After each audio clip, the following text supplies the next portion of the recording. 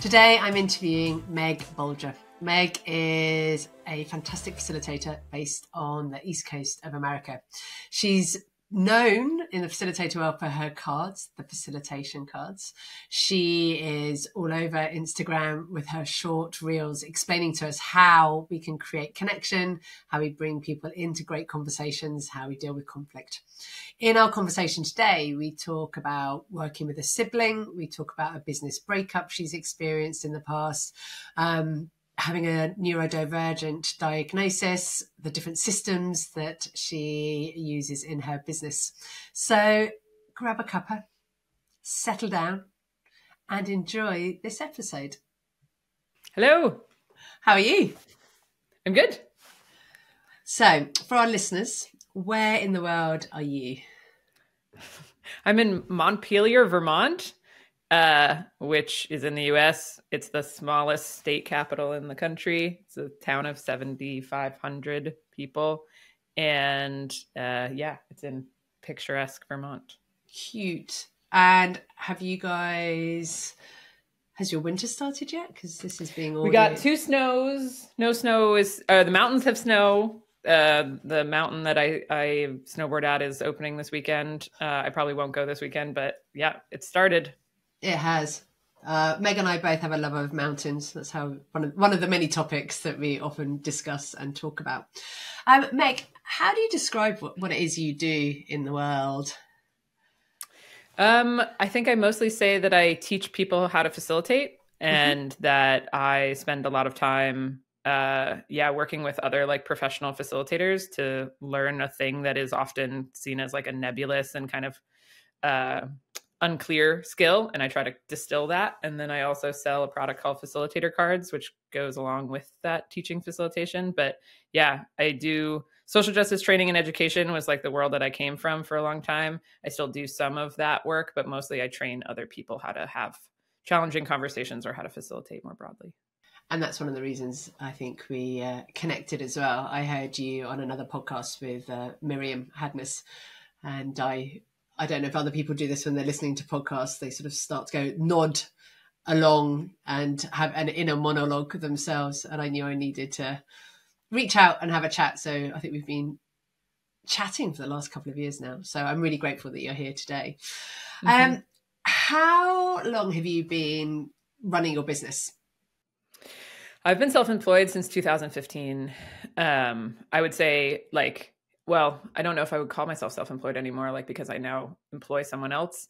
Um, but yeah, so I was self-employed from 2015 onward, and um, two years ago, I hired a, I hired my sister um, for the first time. It was the first time I've ever hired somebody, and now I very much feel much more like a business owner than an entrepreneur, or like than a solopreneur, which I was for a number of years. But yeah, so that's eight eight years now. Amazing. So What's the difference, do you think, from when, like, before sister and after? Being sister? responsible for someone else's paycheck is a, it's, it's such a different responsibility. And, like, um, not when I make money, I don't, it's not my money, it's the business's money now. And, like, the money gets, you know, divvied up in different ways. It really feels like, yeah, like in the past, I was just like, I need to make X amount of money per month in order to pay my bills. And now I'm like, the overhead feeling is very very different. And also like um in the past the only person i impacted was myself. Like i was like oh we had a lean month. Bummer you know? But now it's like nope that is far scarier when you are responsible for somebody else's um, paychecks. Um how how did you know you needed to hire someone? Like what was that decision I mean, I'm an incredibly collaborative person, and it was, I, I, was just like really, really struggling to get the amount of projects and work that I wanted to get done in the world out.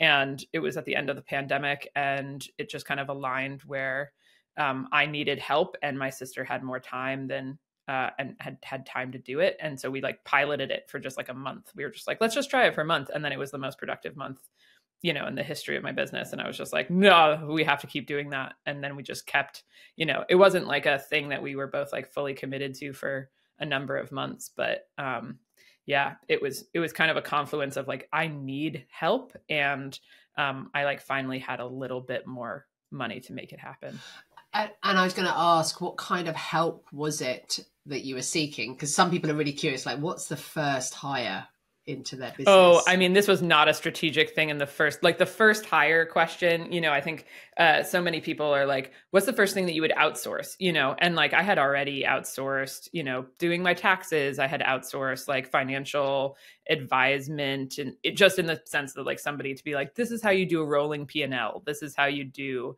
you know, a budget." Um, that kind of thing I had already done a little bit of. I had worked with a, a business coach um, for a number of years. So like those were the like first strategic hires that I had. But um, in terms of like somebody working with me full time, I mean, the first few months was really just me like having somebody else to talk to about the business all the time and then being able to i mean i called i called her my second brain for a while because it was just like finally having somebody to like converse with um so yeah it wasn't what people think of as like oh i'm going to hire a copywriter or i'm going to hire a finance person or i'm going to hire like somebody who manages like the books. Like this was an entirely other arena of like collaborative um yeah thinking partner. Amazing. I love that because uh, uh, to your point my brain definitely goes to that sort of first hire mentality of oh is it someone to do the finances is it a copywriter? Is it someone in social media? Is it someone to dot dot dot? But I love the fact that it's just a collaborator, someone that you can have a conversation with that can help sort out the thoughts that are going on around your head. Um, another question I have is how is it to work with a member of your own family? Oh, I mean, that's a I, I think it's an incredibly special relationship. Um, but I also like this would not be the same if I worked with my brother. You know, like it would be a fundamentally different thing. So I don't even know if it's like a member of my family versus just like me and my sister have a really unique working relationship. And um, I mean, she's one of the smartest, funniest people I know. So it's it's really wonderful. And I get to mess up being a boss with somebody who I have like a relationship that is never going to uh, be at risk. You know, like I could like impact it i could like negatively impact it but um but there's there's something that i get to i get to like learn with somebody who really cares about me about this entirely new role of like being a boss and uh yeah that's been a real gift and because I've worked with some businesses before where they're family members who run the business, and it's always an interesting dynamic when it's family owned businesses. How how clear do you have to be with one another when you're in this is work mode versus family time or family mode. Are you explicit? Yeah, I mean, I think we're both uh we're both able to like go off on rants pretty easily or like end up talking about our personal lives or, you know, and so we've had to figure out how to do that enough outside of work that we don't have to do it at work. If we don't keep up with each other outside of work enough, then it will creep in um but yeah it's been a learning process and it's also just like a personality thing where like one of us is going through a tough time like we actually can't ask how are you? at the beginning of the day because if we do then it's like we're just kind of off on that in that place. So we'll like check in we'll like message each other on slack sometimes before we get on zoom just to be like hey like where are we at? What kind of check-in amount do you want to do today? because um yeah it can be it can be really good to like set that before you see somebody I like that. Even that doesn't matter with your family or not. That sounds like a really sensible thing to do. Mm-hmm. Yeah. Have, have, you always done that as a process? Um, no, no. It's a, it's a new pra- it's a new practice even just for us. Um, but yeah, I do think it's a I think it's great to because when you get on you're you're already reacting to somebody right? You're already being able to like be very responsive to them. And so being able to have that kind of pre-established before you get on like what type of energy are you bringing in? What type of energy are you like ready to receive? Yeah that intentionality is really beautiful. And how has it helped do you think in different contexts different situations yeah, I mean, I think it's helped. It, it it just helps us like stay focused when we want to focus, and it allows us to like um, not feel like something's coming up that we can't um, uh, that we can't put back down. Like we we just yeah nice. feel more centered. I'm really curious now to hear more about maybe what other processes or ways of working you have in your business that you use because they might be useful for others to yeah to hear? Um, Yeah, I mean, I'm somebody who uh, has constantly kind of changed my like to-do list systems and my productivity and my tracking and all those things. It, I spent a lot of time doing all of the different, you know, like I've used probably half of the softwares that everybody like I've used Asana, I've used Todoist, I've used, you know, all those things. At this point, I use there's an app called Notion which is this incredibly flexible it's like kind of annoyingly difficult to describe but it's like this incredibly flexible um, kind of blank canvas that feels like you can organize uh, things in different ways. So on Notion, I have a week page, uh, and on that week, it says like the things that you know we're focused on for that week. It has links to all the different kind of like more specific pages we're referencing. Each day has a drop down of like the things we're doing together, the things that both of us are individually kind of like looking at or, or working on, the yoga and the meditation that we do every day to start uh, and then it has our monthly goals in like a screenshot at the bottom of that. And at the uh, on fridays on our on our good days or on fridays when we're on our our systems we do something called the crushed it list. So we say all the things we crushed that week uh-huh. uh, and we make a list of them and then we write down any like learnings that we had from that week uh, and um, and then we create you know a new page of that every um, every week, and then every month we do a review of of those. Kind of do like a roll up of yeah. what we learned that month. Amazing! Wow, that is organized. I say that from someone who does not operate like that. How how do you um get to your goals?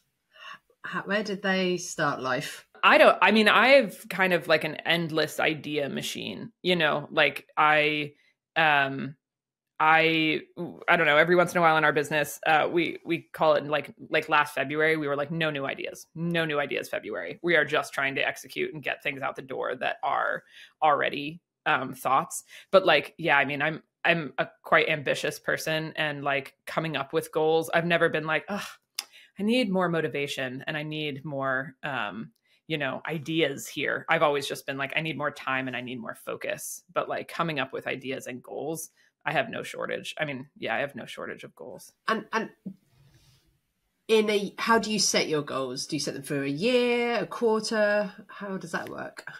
Uh, they're pretty i like honestly i think they're pretty emergent like i can remember the first time i was like oh this is a goal that i have um and that's going to take like a number of years um but more often than not it's like uh yeah it's much more specific short term um things. But like yeah like facilitator cards i mean we wanted to like overhaul the cards and that took six months you know to to like redo.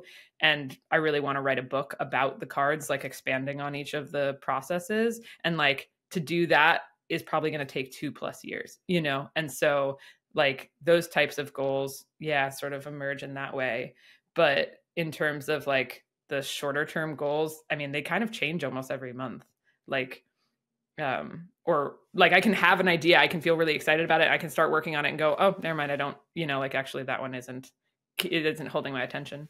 Um and something you shared and you're happy you said to talk about it as well is just the neurodivergent diagnos- diagnostic diagnosis diagnosis in, sure in the recent in the recent past that does that play into this like, I love that. No, no new ideas. February is almost like brain. I need a break. Like, mm-hmm. just give me time to execute. Like, yeah, it sounds like a superpower though as well.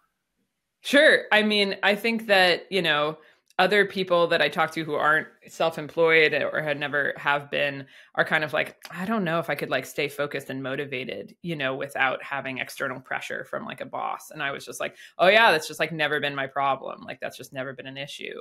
And like that's, you know, that's fair enough that I, I think it's really good for people to know that about themselves.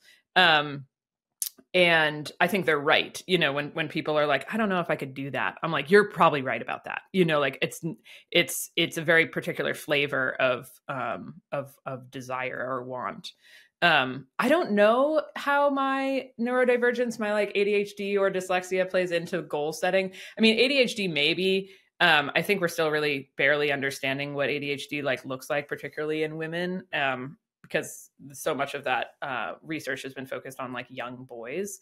But like um, yeah, I mean, I have no problem coming up with new things that excite me all the time. And the the focus and attention and longevity thing is the is much more of a struggle. And so yeah and i think like um uh that also could just be part of being a creative. Like there's a uh book that i was listening to i wasn't listening to the book i was listening to an interview with rick rubin who wrote the book um, I can't remember what it's called now. Something about creativity. It just came out.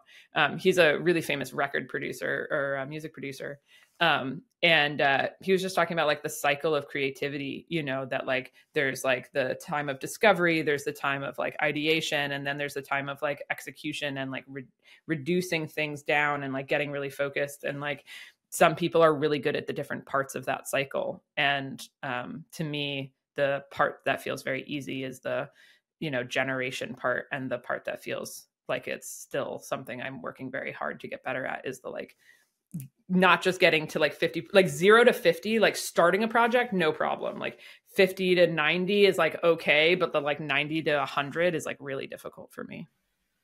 Is that the ending piece like finishing yeah.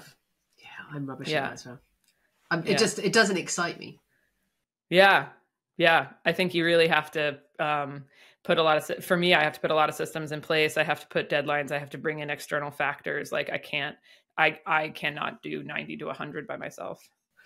And and, and i think that's one of the things i've learned running the business. You don't have to do it by yourself. Mm, i think you do we do need to know though that we need to ask for that help mhm. and not to ignore it. Otherwise i have open-ended projects or things don't Yep. get closed off yep and that I- causes problems I think that one of the things that I've learned the most or or that I'm still learning but it feels like a really like a revelatory idea is that you can ask for help much earlier in the process. Like some people are like, "Well, once I know what I need help on, then I'll ask for help." And I'm like, "No, no, no. That's also a part you get to ask for help on." Like if you're like, "I'm stuck and I don't know why." You can start asking for help then. You don't have to know why you're stuck in order to ask for help. And I think that um yeah, I think that really changes um can can you share an example of how that's worked for you um i mean i think it could be as simple as like my office like i moved into a new office in the last year and like i i did not know how to like hang up the whiteboards in my office. Like i got a really heavy whiteboard and i was like how do you do this? How do you mount this thing? Like how do you put up curtains on this particular structure? And i just had no idea and i just got stuck for months. And so i finally like asked a friend and i said I don't know what I need help with other than like you have to come over and look at it with me and then we'll go to the hardware store together and then we'll come back and do it. But like I just wanted to be able to be like I went to the hardware store and now I just need help with this part, but I I didn't know what it needed. So yeah and and yeah. we don't know what we don't know sometimes and that's yeah. okay And and I think you know working for yourself um can be because you do have to wear so many hats because you have to be somebody who is able to be really flexible and like constantly learning i think you can forget how how often other people like how often people need help. And so you know like i was telling somebody about you know the project that me and my friend did to like get the whiteboards up and they're like oh i would have never gotten that done by myself. And i was like oh it's not just a me thing. It's like just like a universally that's a difficult thing to do thing. And you can forget that when you don't have you know coworkers and uh bosses. I, I absolutely agree. And I go one step further actually on something, on certain things as well. Um, I don't have a partner in life at the moment. yeah And I find uh, sometimes my girlfriends, my male friends, they've got their partners and bingo, Yep. things get sorted or done. And I'm like, yeah, I don't have that either. So, and then I forget to ask for help because I also wonder, Meg, because we are in service of others quite naturally anyway, we Hmm. Sometimes wear the hat of helper ourselves and forget to ask for help or think, For "Oh, sure. can I ask for help? Which can Yeah. be detrimental. Yep. Yep. Yep. And I, I do think like um it's interesting, uh, but I, I agree. Like I, I don't have a partner right now. And I think that has influenced like that person just always saw me struggle and then was like, okay, like I don't need to hear about this the fifth day in a row. I'm coming coming to your office tomorrow. I'm putting up these goddamn whiteboards, you know? But like when you don't have that, you don't end up whining to your friends the same way that you whine to a partner. And so like it just doesn't it doesn't happen in that same fashion. And so you do have to be much more explicit about the invitation for help. And um yeah i think it's it's in certain ways it's made me much better at knowing like oh i can rely on like a multitude of people to to do this. And it's uh yeah it is um it is something that i think changes your kind of orientation to, towards help. On that so in the structure of your business like and it'll be an informal structure do you have people that you go to for particular subjects or types of conversation it's interesting. I've been thinking about this and like I kind of don't. And I think it's for a long time I um like I had a creative business partner for the first 8 years of my career and we did a lot of things together. We didn't do everything we working together but we did a lot of things together. And so like he was my go-to for so much of that conversations. And now i think i'm still playing catch up like now that we don't work together any longer like i'm still playing catch up of like who do i go to with this kind of question or like with this idea? Um and my sister i i now have a new go-to you know? So like because she's there i can um I can just default to her but like Claire isn't a facilitator. I mean, she might be one of the better facilitator minds I know now because she's spent two years thinking about nothing else. And now she's, you know, uh, got her own opinions and things, but she hasn't, you know, spent her career facilitating. And so it's, um, yeah, I'm still kind of like, uh, sometimes I, I don't think to go external and to like bring those questions to other people. So you mentioned you had a creative business partner, and mm-hmm. you've shared in the past with me that you've experienced something that not a lot of people have experienced before, but it's a business breakup. I was wondering, what was that like for you? Is it is it something that not a lot of people have experienced before? Like if if you have a business partner, like it feels just as likely that people go through breakups with business partners as they do with like romantic partners. Um, which means it's very unlikely. Yeah, I don't think we do talk about it. I don't think we do talk about it because I think that it's a really interesting thing where like I don't know, people also don't talk about their breakups, like their romantic breakups in public that like in in like public as in writing blogs, you know, I mean people write entire books about it. But um, but there is something interesting about doing that when it's in a like a career or a a, a field, you know what I mean? And I think that um and like yeah, so um I think something I'll say is that when we first stopped working together, I was like, why is this so like this is a huge deal, you know? And until I started using the word breakup, I don't think that my system was like I kept being like, why is this such a big deal? Or like, how do I articulate like this kind of loss to people? Um, because people would just be like, oh, that's a bummer. You're not working together anymore. And I'd be like, yeah, it's like a bigger deal than that, though. Yeah. And like breakup or like divorce was like a much years. better language. Yeah. So there's that. You had an eight year, I'm guessing, friendship, partnership, workship, situationship. Yeah. yeah. Um, a piece of language I was given from a relationship breakup romance um because I was just beside myself in 2020 and I've written about this quite a few times on LinkedIn you know leading with grief. And my mentor said to me I think you're we, we often grieve the future we thought we were going to have. And I wonder mm-hmm. whether that's a that's a truth as well within a business divorce breakup. Totally could be. Yeah I don't know if it was uh in this case for me but i do think that like yeah, oh my gosh in in uh in other areas of life i think yeah that can be even sometimes you can grieve that more than what you lost is like yeah. the what could it what it could have been thing um yeah i don't think that was true in this case particularly okay. but i do think it it it is something that like because uh i don't know we segment work and life out that people really don't uh we like i don't i don't know that I'd never heard anybody use the word business breakup, you know. And when I use it, a lot of people are like, "Huh, interesting.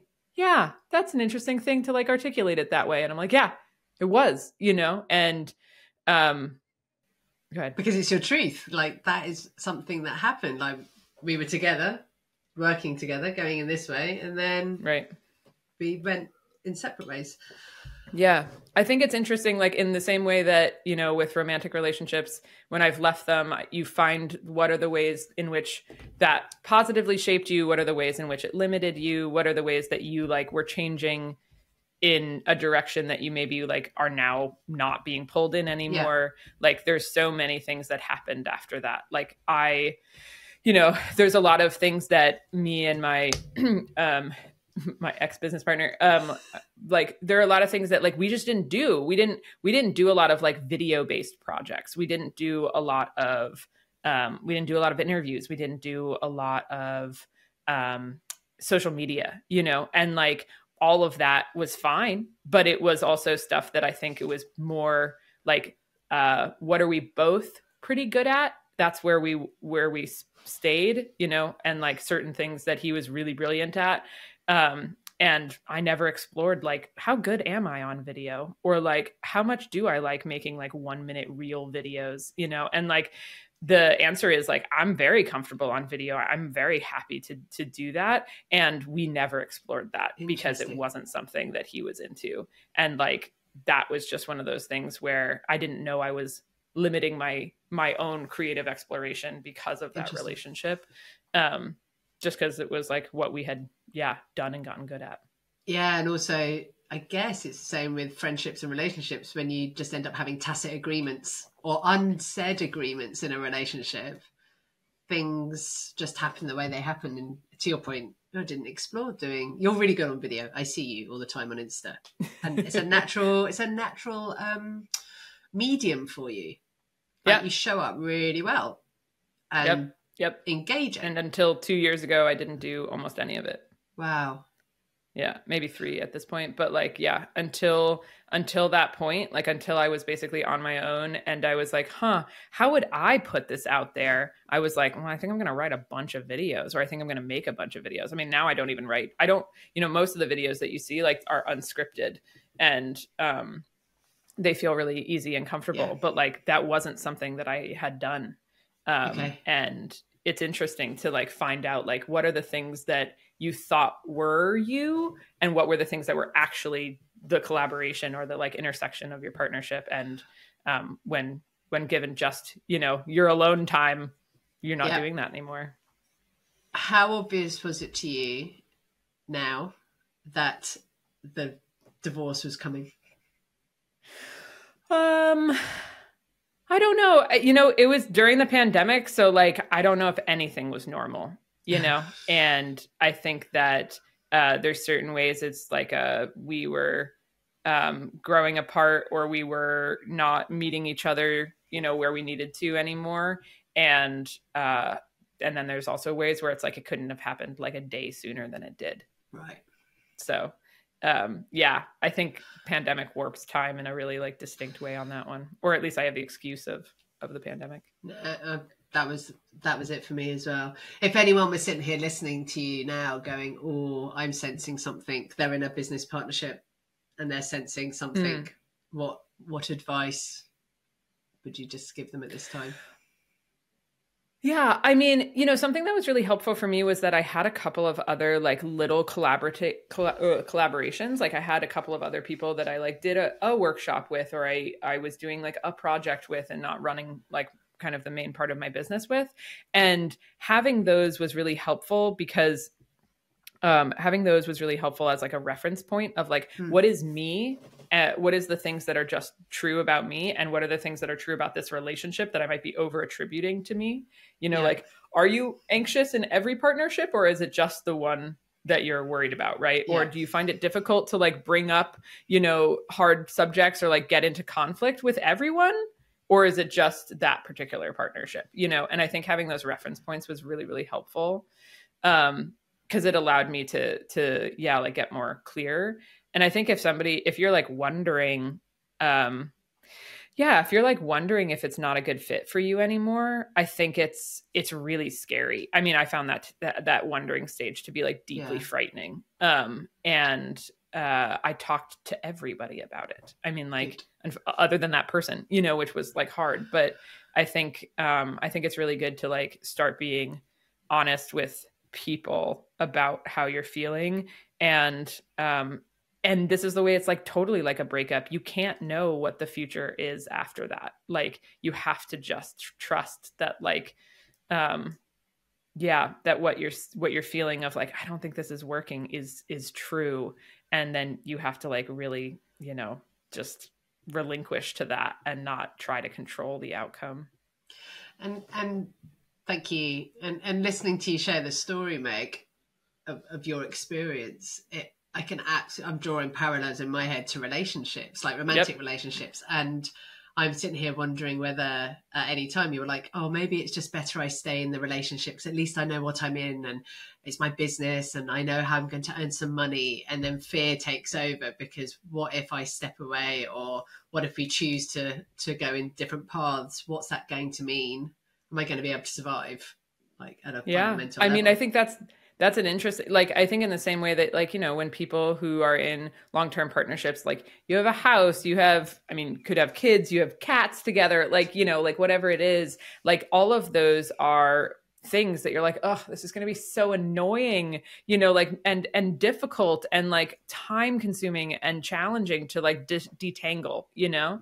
And i think um yeah the more that i i'm i'm sharing about it the more i'm like it's exactly like a breakup. Like it it's exactly like a breakup where you're just like you know the all of the same questionings that you go through all the same calculations except like there's this layer where instead of perhaps like romantic feelings of connection there is this like real financial entanglement or there's this real you know career entanglement you know for I don't I don't think this was true for me, but there are people who it's like they don't know you outside of that partnership, right? Like for some people their business partnerships are so um like they might be like a unit that people experience as a unit and you're like I don't even know who I am outside of those or like career-wise I don't know who but I that happens in romantic relationships. Have you not got that yes. with some of your friends? Yes, we like... call it codependency. but they get you get you get named in the same sentence.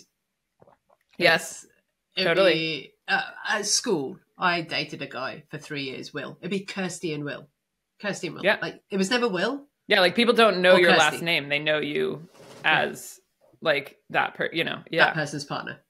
That person's partner. Yeah, wow. for sure. It's exactly like that. And I just think that like um it's so funny to me the different areas of our life where we are like we like compartmentalize the things that we've learned or the or the or the experiences like I don't know. I use a, I do a lot of, I did for a long time, like a lot of like social justice and diversity education. And these things that people know about, like how to give people feedback, they just forget in like, they're like, how do I give, you know, like my boss feedback around being racist? And I'm like, well, how would you give them feedback around anything else? And they're like, I don't know. And I'm like, okay, well, like maybe we should start with an easier thing to give them feedback around. And like, think about like what works then and what are the things you would do and like how would you approach it? And they're like oh that's a good idea. And i'm like yeah because it's not different. It's just like a it's just like a, a different level. There's like a, additional factors to it. And like this feels like that where it's like i don't know if you were ending any type of relationship or you were deciding to like move on or that this isn't working for you anymore like what are all the processes you would go through? You would go through like questioning and frustration and anger and talking to your friends and you know all these things. And it's like yeah do that. You know it's the same it's it it isn't it does not need to be treated as fundamentally differently than um, it just has additional layers. Like it does need to in the sense that you are probably going to have to have a conversation that isn't true in a breakup of like how much of the business do i owe you for how long you yes. know? Um, um, but like it's just more. It's not different. let's just play a game let's fast forward you and the opportunity to have a new business partner happens. Mm. And imagine you're it's a positive sensation. You're not sitting there. You've worked through, I'm sure there'd be some conversations to be had. What sort of things would you look at next time? Like, you know, going in eyes wide open this time.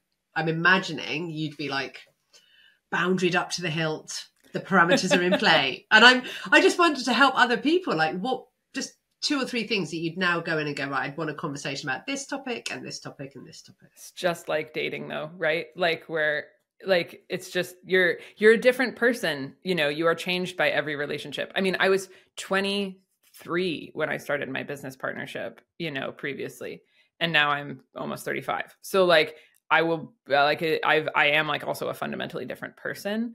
Um, but yeah, I mean, I could I, I can definitely answer some of those questions because I I had it wasn't exactly like a big business partnership, but it was this like collaboration that came online last summer. And um, yeah, I was very clear about certain things. Um, I wanted to feel like it was really important to me to feel like my I I wanted to make sure that I felt um really like uh va- valued and like but also like I was bringing a unique value and that like I felt that way even more than they did. Like I, I think a lot of times like there was just an enormous amount of self uh judgment in my in my past working relationship and like a lot of that got projected onto him and it wasn't coming from him. It was coming from me you know? And so like the level of confidence that i wanted to feel in myself in new um, collaborations was really important um, i think the ability to feel like what I was good at, the things that I am naturally good at, were a, a, good and aligned fit that I wasn't wishing I was somebody else. You know, like in the past, like my ex was an incredible um, uh, writer and an incredible like coder. Like he like m- would code websites from scratch, and I was always like, "That's amazing! I can't contribute to this at all." You know and um and that made me feel really yeah like self-conscious and like i was lacking something. And so in like the future partnerships like i don't if we have different skills they need to feel like complementary. They don't i don't want them to activate this like part of me that feels really insecure. Um uh so that felt important. That's and those are not the places i thought you'd go. Thank you. No. Because my brain was like do you have conversations really clearly about the finances do you talk about who does what well and therefore take different responsibilities? Yeah, I mean, some of that I think would, to be fair, like some of that is also true. Like we had no contracts. I was going to say, uh, would you do something no. more formal in the future? Yeah, it depends though. I, some of it, like I kind of love that we didn't because to me it, it indicated a level of like trust and respect that felt really safe and comfortable and like genuinely was true um but also like it's very it's very like it was great to have very explicit conversations about money mm-hmm. um and yeah but like i don't feel like it's an armor thing it's more just like a allows me to put things down it just like yeah i want to nice. constantly be like this doesn't need to take up brain space yeah you know? yeah amazing so what does the future hold now for for your, your business for you facilitator cards? What's what's on the idea board? I mean every six months we reinvent this business. Like uh like it really like two years ago at this time i was running mostly free workshops and trying to make the business basically sustainable on facilitator card sales alone. And that wasn't possible like especially once uh, when apple didn't update and stopped scraping all of your data for facebook and instagram ads they got a lot less effective um, which is like great uh, but also terrible it, like business wise but like privacy wise great so we're gonna call it great. Um, but yeah like in the last few years like i've shifted from like being a card centric sales business to like card and trainings but all private trainings to like this quarter it was mostly public trainings that people could sign up for and that was like the majority of our um our of our business and that's the first time that's ever been true. Um yeah. Um and like i have no idea i mean like i kind of have i have hopes but i have like no idea. Like it's possible we could get one contract next year that like might take up most of the year and that would be a fundamentally different kind of business than i've ever run before um, i'm used to being like a one-off drop in run a training and go facilitator and not like a big consultant um, space uh, you know evaluation all of those things. I've never done that, but I think it's very possible that that could be hmm. what 2024 will look like. Um, I love that. Yeah, like, but yeah. I, Go ahead. I like what you said.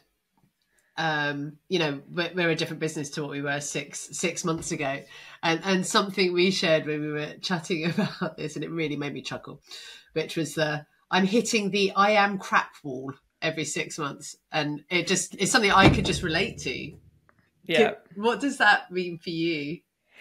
I will say, I think I'm finally, uh, I don't hit it as aggressive. Well, actually, maybe it's just shifted from like I used to. So, you know, when I started facilitating full time, um, yeah, like every six months, I would hit this place of just like, I cannot believe anyone hired me six months ago. I was so bad. I knew so much less than I did. I did not have the like understanding. I hadn't unpacked these concepts. Like, I cannot believe somebody paid me to do that. And then I would have that again six months later, and I'd be like, oh, like, and it was a really like kind of painful growing process because it it i knew you know everybody wants a therapist with 20 years experience. Everyone wants a surgeon with 20 years experience but like there's only one way to get there you know which is like you have to be the surgeon with like six months experience you know? And so um yeah like that just became I, after a couple of years of that i was like this is just what it is. This is just a normal part of the process. This actually means that you care and like all of these things. Um but yeah that was the wall uh was like around my actual like work and facilitation was like i did not i felt like i was so much better six months later and therefore i felt like it was horrible what i had been doing six months before so i think that's really I love the fact that you care so much that you look backwards and almost go, "Oh my goodness me, I can't believe um, I did that." My brain goes the other way, which is, wow, the universe gifts us the projects that it knows we're ready to handle. And mm. so, what's happened for me in different parts of the business cycle and growth, sometimes like some projects land on my doorstep, some global projects, or there was one where I needed they asked me to help them find Vietnamese speaking sales trainers, Thai speaking sales trainers, you know, really specific. And I was like, okay. And I was just like, I can do that. And I did. And I fulfilled all the briefs. We did loads of train the trainers. It was an amazing experience. Part of me could have gone, no, that's that's a bonkers thing that you want me to do. How do you even think that I can cope with that? But a small part of me went, yeah, but someone's seeing something that you might not see right now. So go for it, follow the breadcrumbs. And you can do 80% of this project. There's just mm-hmm. some nuances that you're being invited to learn about that you're going to do in this particular project. And that reframe for me has helped me to say yes to more projects that I would potentially sort of be more cautious on and have gone, oh, well, mm. or I would have said yes, but then run off to get somebody else involved mm. and probably didn't need to, you know, I learned to trust myself more. Yeah, yeah. Yeah, I think now I don't have it around facilitation, like the actual practice of it. I'm like, no, I'm very good at that and I feel very comfortable with that. But I have it around business where I'm just like, oh, I'm such an amateur. Like, I can't believe, you know, six months ago, like, what was I thinking? What was I doing? And now, because I've done that cycle so many times, I am much more like self forgiving. Um, but yeah, I mean, I think it is really interesting that, uh, I don't know, like, video games do this perfectly. They they meet where you are your skill level is and then they create like just a little bit of skill gap right? And so like that's why so many people get really into video games is that it's constantly leveling you up. Like it's like we know you're here we know that you could be here and you have the skills to do that and we're going to create like just a little bit of challenge every time right? It's not impossible like this isn't impossible by any means but like it's just enough it's just enough challenge. And i think like in business that's a really interesting thing is like sometimes you are given proposals that you're like no uh, no that one's too much that's that's actually like an enormous gap and it would be kind of inappropriate for you to take it on or like um or just like it's not right for you. I don't i don't know. It's very clear to me when people are like oh my god this is an amazing idea and i'm like yeah it is an amazing idea. So go find somebody else. Like you know uh uh have you ever read big magic by elizabeth gilbert? No i haven't. I've read her other books. Great. Great book. Um yeah, very different than her other books. So, uh, Big Magic is a book. The subtitle is Creative Living Beyond Fear, and um, she talks about ideas in a way that, uh, like, at least this is where I learned it is from her talking about ideas. And she talks about ideas as just like things that are floating around in the universe, like looking to be born. Like they're just looking for somebody to like make them real, you know? And so like you'll hit an idea and uh or an idea will hit you and it'll be like, huh? Huh? You and like you might be like oh my gosh absolutely i am 100% the right person for this idea. Um, and there's other ones that you're like oh my god no like go find somebody else. And like the practice you know she talks about like some of us hold on to ideas that aren't ours and like we what we want to do is like yeah hold on to the ideas that are ours and show up for them. Like and if you don't show up for an idea long enough it will move on. It will oh, yeah. it'll leave you and it will go find somebody else. I love that Mm-hmm. I like um, the piece about the video games as well, and create they create a skill gap in you, but then they encourage you yeah. to to step up and to move. And and I genuinely think that happens for us in our businesses as well. And we get a new project, a particular type of client, a new situation that you're working with an associate that you've never done before, um, a new piece of content that needs creating. And I just think every project, every every opportunity brings something new and possible, or just a stretch, not necessarily brand new, but a stretch. And just to notice that, and then even like look back on yourself for the last two years and go, wow, what have I, look what I have achieved. Because yeah. I think that's another thing working on our own, even there's, there's yourself and your sister now, which is great. You do the crush it list on a Friday.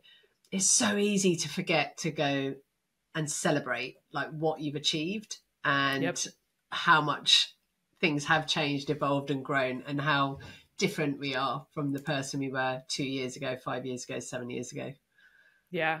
I think um, something that is a really concrete practice that I, I continue to like try to get better at is you know we do the yeah crushed it list on fridays for the week but then every month we do a monthly review and what that requires to do is to actually set a bunch of goals at the beginning of the month. Like we have a mural board and we have these like columns of like, okay, what is all the admin goals? What's all like if there's major projects, you know, like what's the the goals for you know we're releasing a, a ver- version three of facilitator cards in i don't know six months. You know like where's that goal? Where's this one progressing? And you have to set all of that at the beginning of the month so that at the end of the month you can go look at it look we did it! Like and you like check it all off. And if you don't set specific goals you actually don't get to celebrate them. Because like i didn't set a specific goal for my like um my like series uh the like facilitating for the future series that i i ran this fall. And so like I think it was successful, but if I had at the beginning of the uh, of the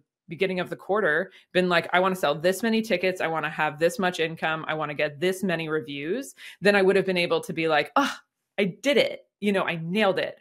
And and instead I was just like I think it was good like it, it brought in the money we needed it you know like but i didn't write down the goals and then have a time to go check in on them and like that might feel silly but like it is I think, an incredibly important part of feeling satisfied in your business. Like the question of like what allows you to feel satisfied, I think is um, that's actually like a question we ask in our monthly review is like what helped with focus and like what allowed you to feel like we did a good job and like even just knowing like what what allows you to do a good feel like you did a good job like i send out evaluations not because i mostly use them I don't I'm not particularly good at posting testimonials. I don't tend to change a lot from, you know, people aren't tend to don't tend to give me like a lot of specific critical feedback. It is simply so I can feel like, wow, I did a good job and and that's actually worth doing. You know, like it's it's worth having those m- ways in which you congratulate yourself because nobody else is doing it for you and you actually do need to like integrate the mm, the successes. I love that. So, Meg, we're coming towards the end of our conversation, and we could carry on quite easily. I get that. So, we have a some quick fire questions that I'd okay. love to ask you. Uh, what advice would you give to someone starting out in a training or facilitation business? Um, I would say run things for free that you want to get paid for and always get everyone's email. Great. Who do you follow in social media land that you think others should too? Um, social media. Um, I mean, you're very fun to follow. Um, I the right. like honestly, like social media is getting to a place where uh, you don't even follow specific people. The algorithm mm. just like tells you things.